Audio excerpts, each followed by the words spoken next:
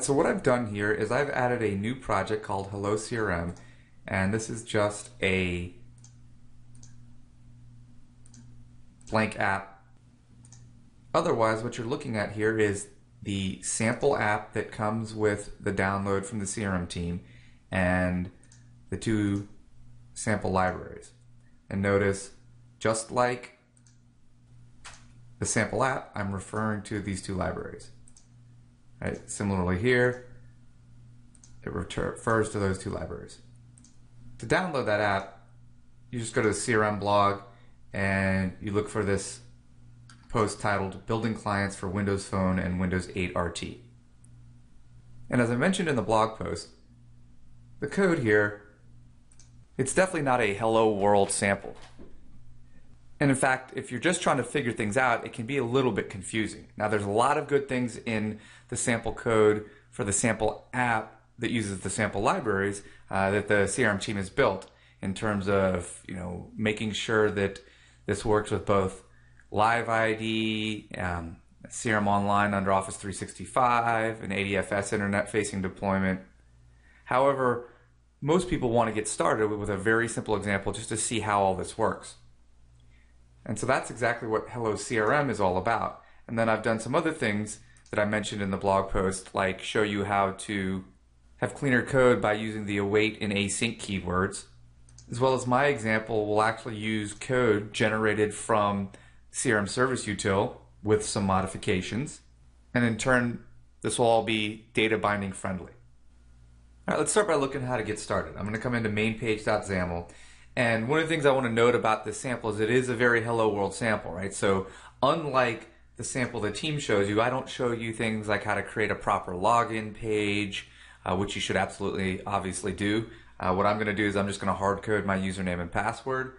Um, I'm not going to show you how to do things like uh, persist the security tokens so that you can uh, reuse uh, restart the application without having to to relog in. I'll talk about places where you're going to want to elaborate the code to do so. Uh, but I'm keeping this very simple. So this isn't what your production code would look like. It's just to kind of get you to get, it's just to get you started so you understand how to use the API and a couple tips and tricks to be more productive building Windows 8 applications with the API.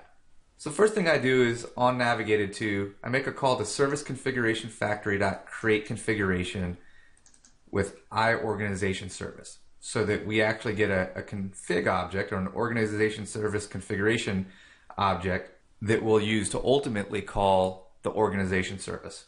And notice I've created a field here so I can access it across different methods. Now the way that uh, create configuration works here, notice that it takes, let me do this.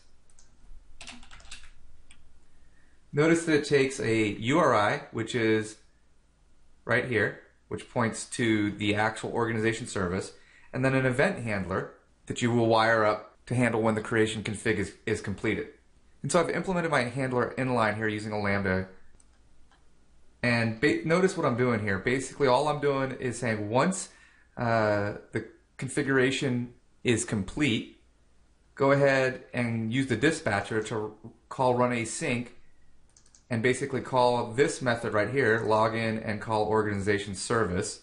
And I use the dispatcher to ensure that this code is back on the UI thread. And then finally, I safely cast this to organization service configuration because create configuration returns an interface. All right, so let's take a look at what, what's actually going on here. This is really just sort of the setup code so we can actually do what we need to do.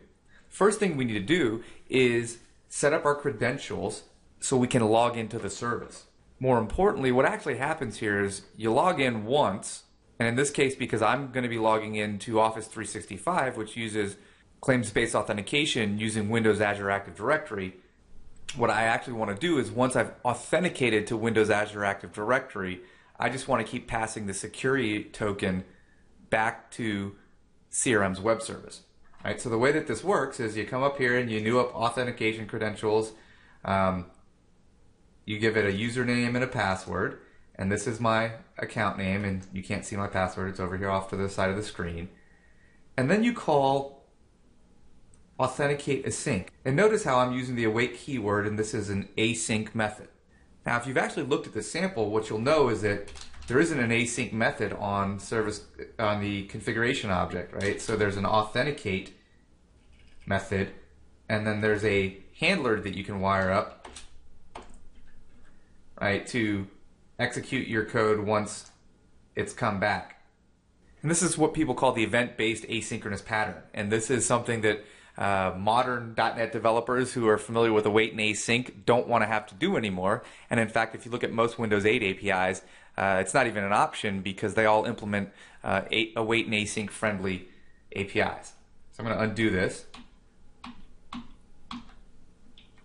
So how did I get authenticate async? Well, I implemented an extension method that wraps the event-based asynchronous pattern so that it, it is a, await and async friendly.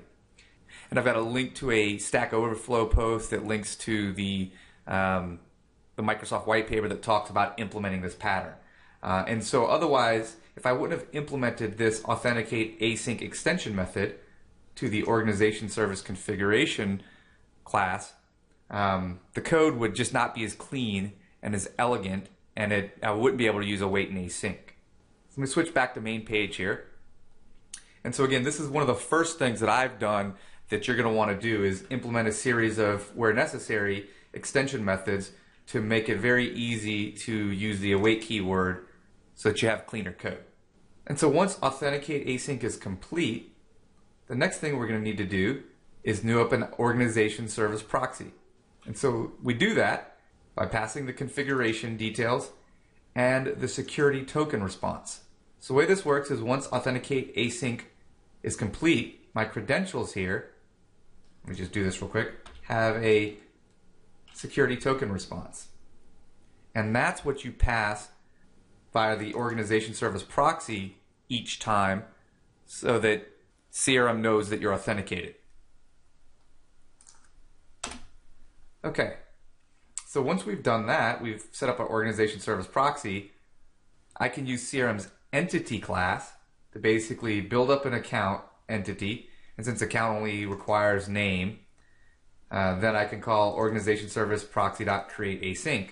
And again, just like authenticate, there is no create async in the sample code, right? There is a create and a create completed. And so again, I'm implementing this pattern such that we can use await to make our code cleaner, easier to debug and read, etc. Now you may be looking at this code and saying, oh, I don't want to have to use just the entity class. I want early bound types and that sort of thing. We'll get there. Uh, but for now, I want to, want to start with something very simple. So notice I come over the CRM web UI and I refresh here, you'll see that there is no account named Windows 8. So I'll come back to Visual Studio or Hello Win 8. So we'll just go ahead and launch this up in debug mode.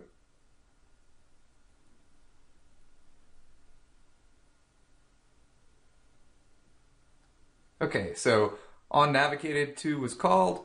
We did our create configuration setup, and then ultimately our login and call organization service method is called back on the UI thread. As I mentioned, we'll set up our credentials here, so I'll just hit F5. Right, authenticate async happened. Notice now that my credentials have a security token response. This is all based on WS Trust. I'll put a breakpoint here.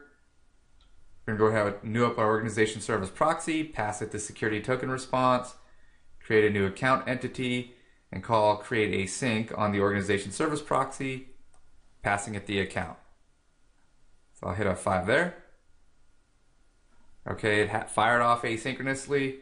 We're at the end of this method. I'll hit F5. Just to kind of prove that this isn't make-believe, I'll come in here and refresh. Boom. There's our hello win8. Alright, so let's stop debugging. And I'm to remove some of these. Let's comment out this code. And now what I want to do is I want to call retrieve multiple. And the way that this retrieve multiple works is it takes a fetch query. Now, I suspect the next thing you're doing or you're saying to yourself is, oh, I don't want to have to write fetch XML. I'm used to from .NET right, being able to write language integrated query or LINQ. And the bad news is, is that right now with this sample, you have to use fetch XML. Or more accurately, you don't have a, a LINQ enabled provider. So there are a couple different ways to, to create fetch XML. One way I'm sure you're familiar with is to come in here and go to advanced find. Compose your query and click download fetch XML. That's not my preferred way. Um, in my blog post, I actually have a link to explain how I use LINQPad to essentially do the same thing. Notice what I'm doing here is I'm creating a LINQ query because I'm very familiar with composing LINQ queries. I'm not, I don't have fetch XML burned in my brain. And then I just call this method to fetch XML. And if I actually execute this just to prove this is real, that's how I actually got the fetch XML for this code. And this is my preferred way, way from composing fetch XML. So while using this sample, you can't write link, LINQ inside of your code. You can actually still use link to compose your queries and then just copy and paste the generated fetch into your code. And again, that's exactly what I did here. So then next, um, what I've done is, as you can imagine, I created this retrieve multiple async following the similar pattern where I can go ahead and make a call to CRM to get a set of records with a subset of data based on my fetch XML query. All right, so let's hit a breakpoint here. Let's go ahead and start this up in debug mode.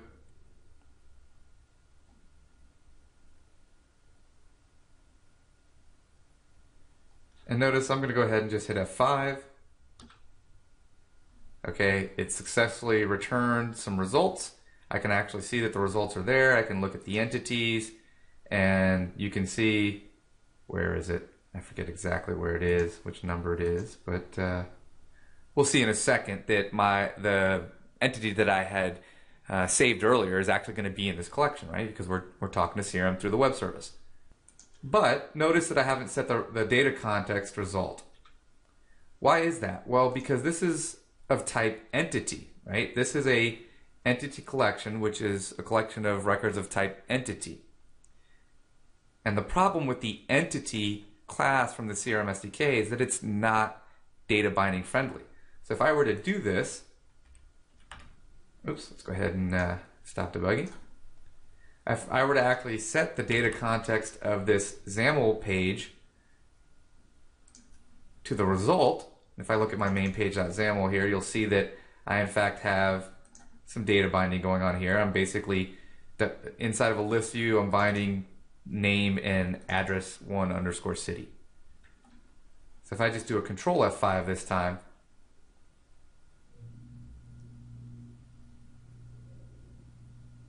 we know because we just saw the code running that we actually get results back, but data binding is not working. And again, that's because the entity class is not data binding friendly.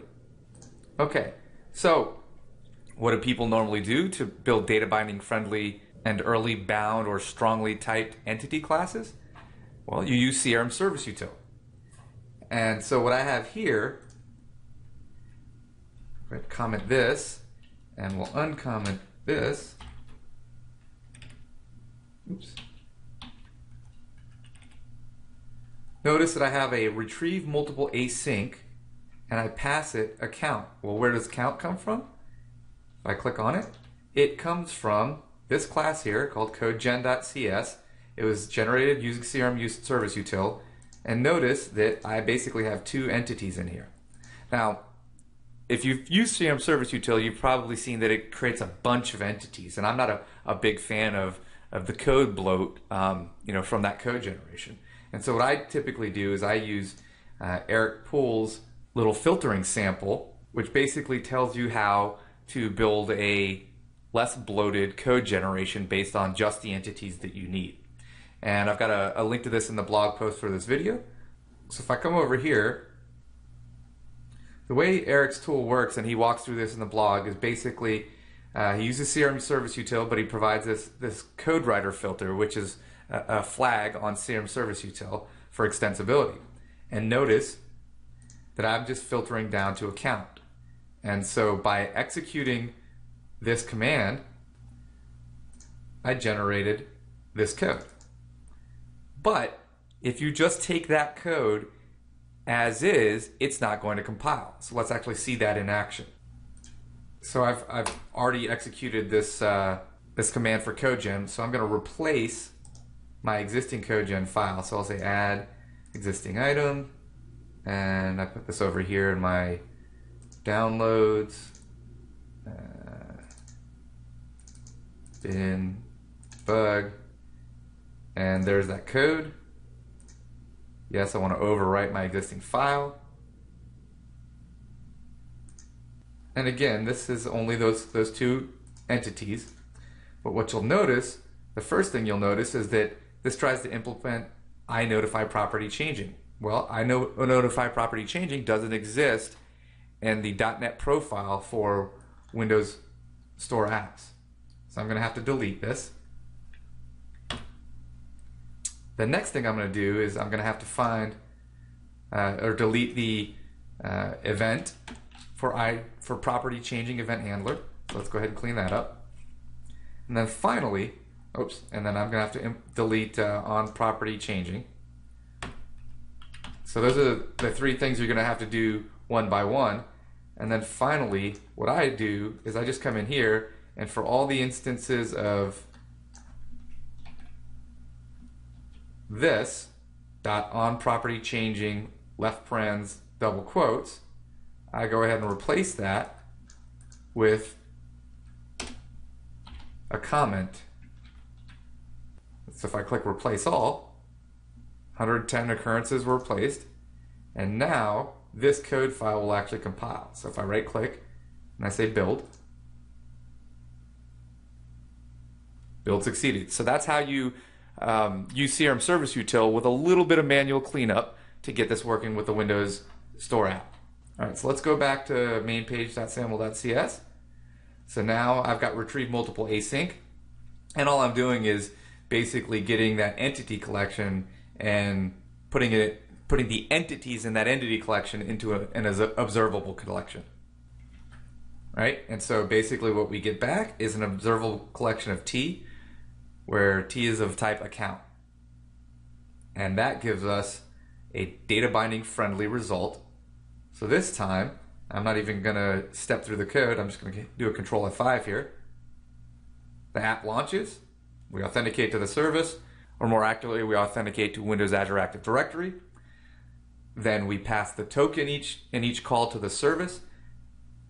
And there's my hello win8 that we created earlier and the rest of my account entities. All right, so in summary, we showed you the most fundamental hello world connecting to my Office 365 trial instance of Dynamic CRM here, which of course uses claims-based authentication through Windows Azure Active Directory.